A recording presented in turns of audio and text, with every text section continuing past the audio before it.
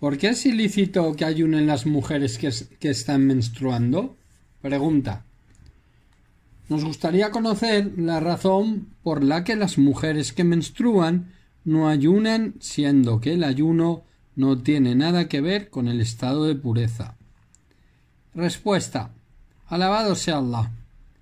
Primero, el creyente debe someterse a todo lo que Allah ha ordenado y aceptarlo aun si no conoce la razón que hay detrás de ello. Debe bastarle con que Allah y su mensajero lo hayan ordenado. Dice Allah en el Corán un verdadero creyente o una verdadera creyente no deben, cuando Allah y su mensajero han dictaminado un asunto, actuar en forma contraria. Y sabed que quien desobedezca a Allah y a su mensajero se habrá desviado evidentemente. Al-Azad 33-36 en cambio, los creyentes, cuando se les exhorta a respetar en sus juicios las leyes de Allah, las leyes que Allah ha revelado a su mensajero, dicen escuchamos y obedecemos. Ciertamente ellos son quienes prosperarán. An-Nur 24:51. Segundo, el creyente debe tener una fe cierta en que Allah es sabio y que sólo prescribe las cosas según su máxima sabiduría y no ordena nada que no sea por el bien de la gente, ni tampoco prohíbe nada que no sea para proteger a la gente de aquello que les perjudica. Esta idea fue expresada maravillosamente por Ibn Kathir en su libro o el Bidaya o el Nihaya 679. La ley del profeta que la paz y las bendiciones de Allah desciendan sobre él, es la más completa de las leyes. No dejó nada que los sabios consideren bueno sin ordenarle, y no dejó nada que los sabios consideren malo sin prohibirlo. No no ha ordenado nada de lo que la gente pudiera decir ojalá esto no fuera obligatorio, y no ha prohibido nada de lo que la gente pueda decir ojalá esto no fuera prohibido. Puede que entendamos las razones o que estén ocultas, o quizás, o quizás solo parte de ellas estén ocultas a nuestro alcance. Tercero, los estudiosos sostienen unánimemente que está prohibido que la mujer que está menstruando ayune y debe recuperar esos días perdidos por la menstruación si se trata de un ayuno obligatorio como en Ramadán. Los sabios diferían en cuanto a la razón de por qué el ayuno de una mujer que está menstruando no es válido. Algunos de ellos decían que la razón es desconocida.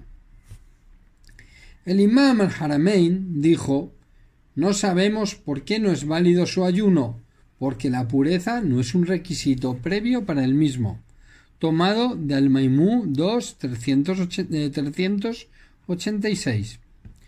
Otros dijeron, la razón por la que Allah les ha prohibido ayunar a las mujeres que están menstruando es por piedad hacia ellas, ya que la pérdida de sangre las debilita y si una mujer que está menstruando tuviera que ayunar, se vería doblemente debilitada en cuyo caso el ayuno sería una carga injusta e incluso perjudicial. El Sheikh al-Islam Ibn Taymiyyah dijo en Maimú el Fatawa con respecto a la menstruación decimos El Islam trae moderación en todas las cosas, por lo que irse a los extremos es algo injusto que Allah prohíbe y nos ordena ser moderados en la adoración. De ahí que el Islam nos dice que debemos quebrar el ayuno y retrasar el suhur o desayuno y también prohíbe el ayuno continuo. El profeta, que la paz y las bendiciones de Allah desciendan sobre él, dijo La mejor y más moderada forma de ayunar es el ayuno de Daud, que la paz esté con él.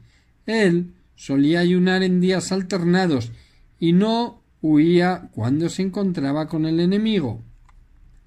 La moderación es, es en la adoración es una de las grandes metas del Señor.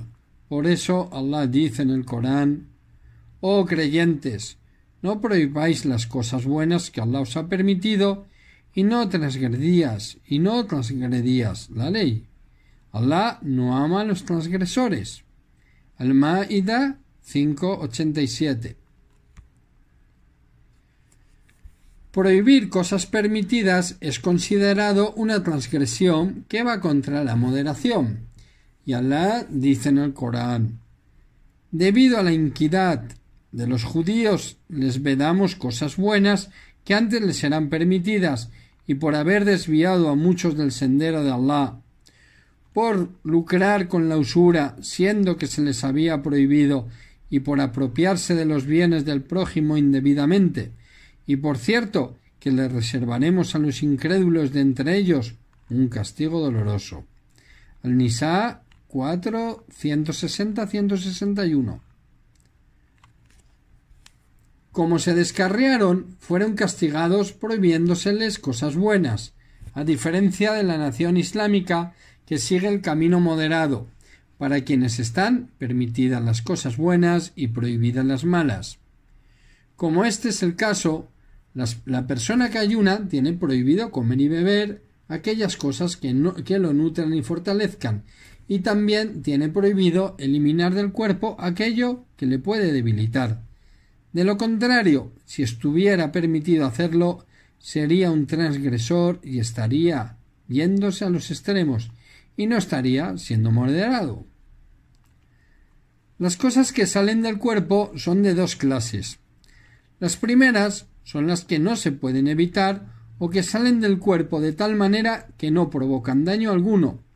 No hay nada malo con eso, como son la orina y las heces, porque no son perjudiciales y no se pueden evitar.